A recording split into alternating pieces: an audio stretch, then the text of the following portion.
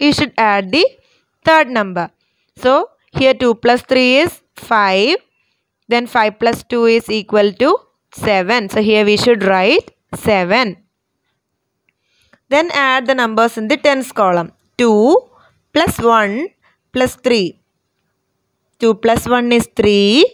Then with that 3 we should add 3. So 3 plus 3 is 6. So the answer is 67. And let us do one more question. 12 plus 25 plus 27. Here also we should arrange the given numbers according to the place value. Then add the numbers in the ones column. 2 plus 5 plus 7. 2 plus 5 is 7. 7 plus 7 is 14. Since 14 is a two digit number, we can write it here. What we have to do?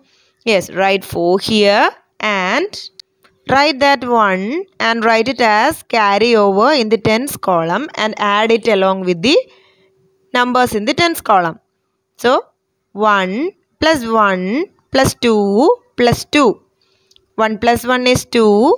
2 plus 2 4. 4 plus 2 is 6. So the answer is 64.